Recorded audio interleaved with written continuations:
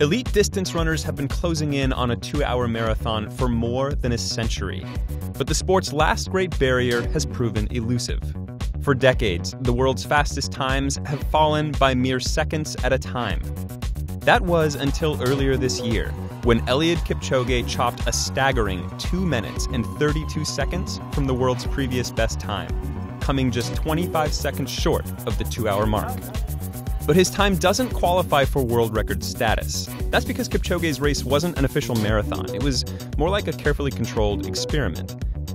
Members of Nike's Breaking 2 project spent four years and millions of dollars preparing three athletes for this race, optimizing everything from the shoes they wore to the course they raced on.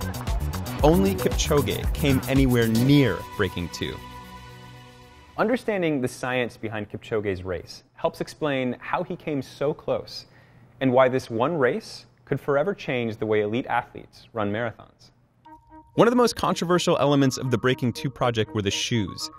Kipchoge and the other runners ran in customized versions of the Vaporfly 4%, a shoe with a thick, springy sole and a carbon fiber plate that Nike claims can increase running economy by an average of 4%. But what does that 4% figure actually mean? And where did it come from? I'm Rodger Kram. I'm a professor in the Integrative Physiology Department here at the University of Colorado Boulder, and we call this the Locomotion Lab. Nike knew from internal testing that the Vaporfly was fast, but when they needed someone to check their math, they called Kram. His lab is known for accurately measuring the energy that athletes expend during exercise.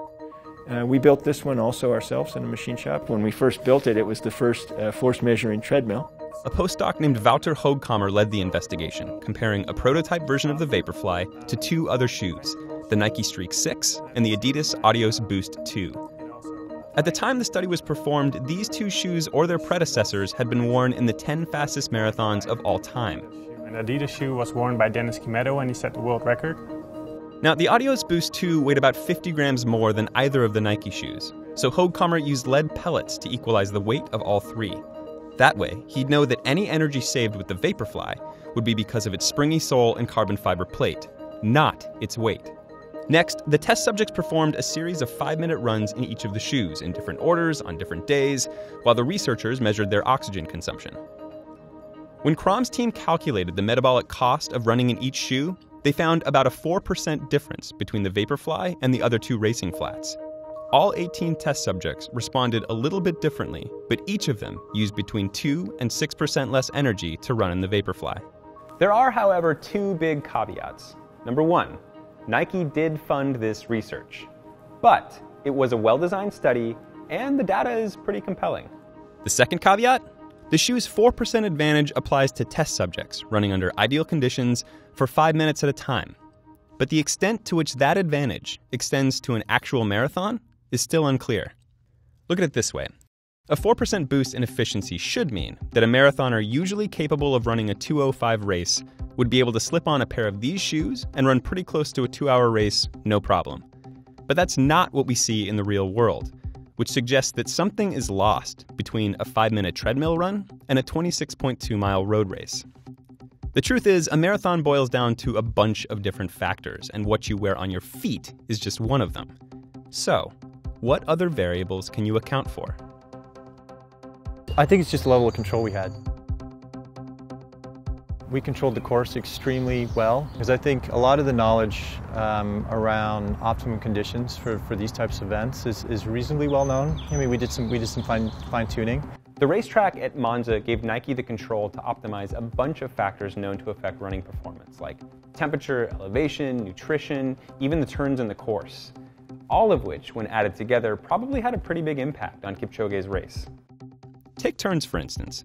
The more corners a course has, and the sharper they are, the more times a runner has to slow down or take a longer route, which adds up to valuable seconds over the course of a race. The same goes for hills. A flat course is generally preferable to one with a lot of ups and downs. Consider the Berlin Marathon. It only has a handful of sharp corners, and it's flatter than a lot of other big city marathons like London or New York. These qualities make Berlin a very fast course. On average, elite runners finish 81 seconds quicker in Berlin than they do at other races, which probably explains why every marathon world record in the last 15 years has been set in Germany. The junior circuit at Monza, it's even flatter than Berlin and has no sharp corners. In fact, the big sweeping curves at Monza ensured that Kipchoge and the other runners were always running the fastest, shortest route possible.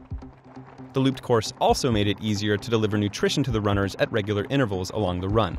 About the only thing Monza didn't have going for it was weather. Running generates body heat, and too much slows you down. Cold temperatures help runners dissipate heat, letting them run faster, longer. Numerous studies suggest that the ideal temperature for professional marathoners is below 50 or even 40 degrees Fahrenheit.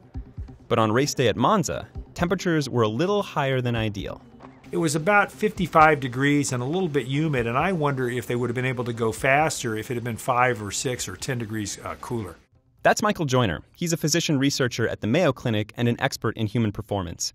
In 1991, he published a paper that predicted the ideal athlete, running under ideal conditions, could complete a marathon in 1 hour, 57 minutes, 58 seconds.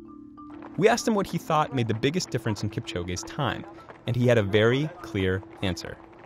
I think the three aspects of Breaking Two that contributed most heavily to the performance are the drafting, the pace car uh, providing a very steady pace the whole way, and also the runners who were both causing the windbreak but also participating in the drafting. In traditional marathons, pacers have to start the race with the runners, and they can only lead the pack as long as they're physically able. So they always drop out long before the race is over. But for Breaking Two, Nike cycled teams of pacers in and out of the race over the course of the entire run, in a finely tuned configuration never before seen in a marathon. To determine the ideal arrangement for blocking wind, Nike worked with aerodynamics expert Robbie Ketchell and the University of New Hampshire to test pacing formations in a massive wind tunnel. They tried a house configuration, an inverted Olympic ring, and a wall shape with two rows of three pacers. But the data showed the best configuration was the arrowhead shape you see here. That kind of advantage can shave minutes from a marathon time.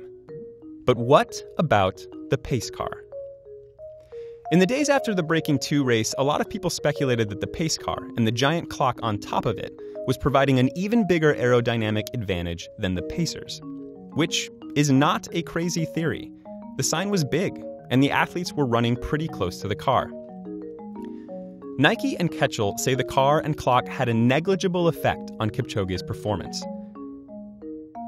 Of course, Nike would say that, but it's also probably true.